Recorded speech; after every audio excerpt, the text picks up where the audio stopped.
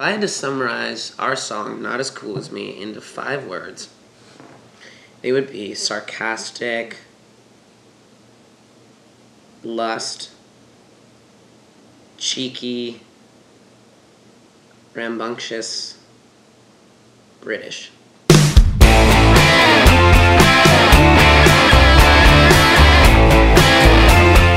as cool as me is about uh, when you are nearing the end of your relationship, you're breaking up, and you're figuring out ways to, to deal with the aftermath of being alone again. And for me, it was it was listing all the reasons why it wasn't working anymore, and that helped me get through the in-between period of of yeah, being alone again. It's supposed to be slightly funny.